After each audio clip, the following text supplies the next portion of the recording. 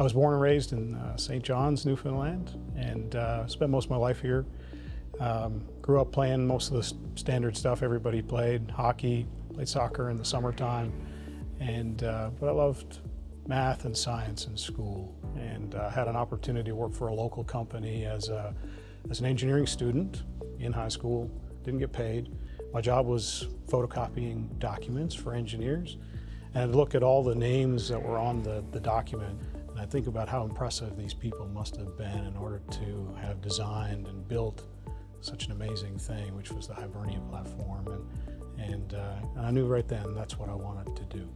And uh, was pretty involved at school, was involved extracurricularly in the Engineering Society, helped bring the uh, Canadian Engineering Competition to uh, St. John's for the first time. And uh, my marks were pretty good, so I started with ExxonMobil Canada here uh, right out of school. Steve reported to me when I was the uh, project supervisor for ExxonMobil Canada East. And uh, Steve was a project engineer, particularly um, responsible for the flow line installation on the Hibernia platform.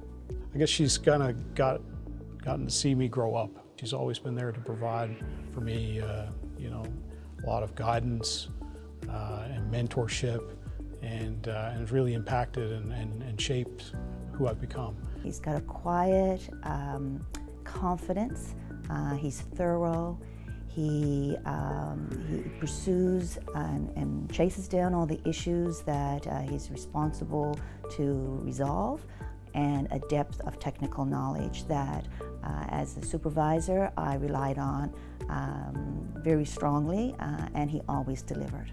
It was an incredible time. I mean, Hibernia was, you know, uh, such an amazing asset, or is such an amazing asset. People are fantastic. I learned so much when I first started here. And, about three years into that, I, uh, I got an opportunity to move to Houston. And uh, I started on a project called the, uh, the Odoptu Project, which was in Sakhalin Island in Russia. And uh, that was my first glimpse of major project life. I got to do a big greenfield project, and uh, you know I fell in love again uh, with my job. I first met Steve Edwards in 2010 when we started the front-end engineering design on the project. Steve was our lead instrument and control engineer at the time and had just come off a couple of other projects that were global in nature and we were uh, having him step in and take on a large responsibility right off the bat for Hebron. I knew that this, this thing was going to mean so much uh, so many at the time and, and just be able to contribute to that uh, was something that I couldn't pass up.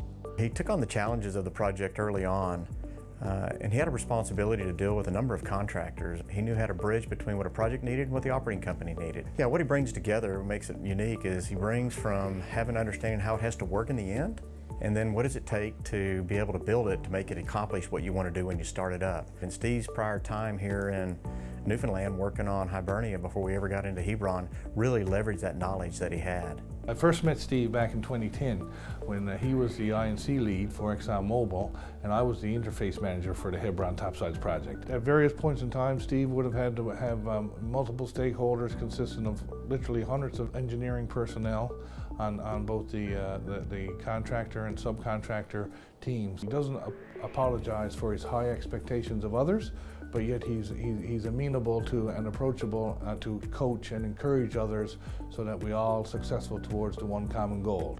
What impresses me most about Steve is his very active role in making sure that his team and the young engineers on his team are given the opportunities to demonstrate their ability and to grow their, their ability. He really takes that on as his own personal commitment. I truly believe that the oil and gas industry attracts and retains the most amazing people in the world, the greatest talents. And I think on the Hebron project, we had the best of the best. You know, a facility that sits in 90 meters of water, it's located 350 kilometers offshore in one of the harshest environments in the whole world. And people did that. He's patient, he's a really good listener, uh, he's a good friend of mine, his family and everything. He's a really good family man. And he's been able to balance the demands between what a project like this can put on you as well as what your family needs. And as I've watched Steve work that balance, he's done a very good job. What Steve really represents here is a growing um, generation of Newfoundlanders who has seen the oil and gas industry really develop and now represents this growing technical base who are pursuing a career in oil and gas and being quite successful with it. So what impressed me most and why I think he deserves the award is again to witness his growth from that technical into that person who becomes more and more responsible for overall scope, the bigger picture.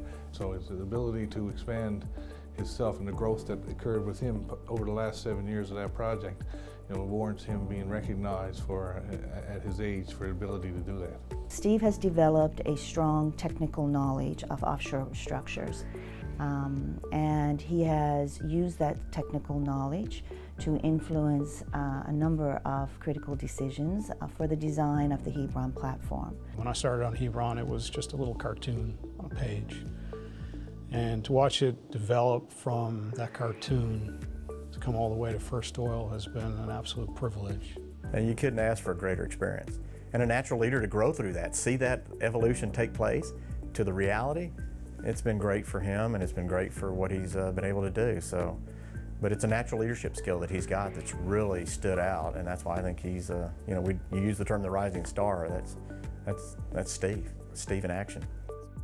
You know, to be, to be able to engineer and design something so massive, so complex, so magnificent, uh, that opportunity doesn't exist everywhere. People around the world have contributed, but the core the core of what we've done is has been right here, and I'm just you know so happy, so thrilled, so proud uh, to receive this award, and I really think it's a it's a it's an acknowledgement of, of the team that we built and uh, and everything that we've achieved.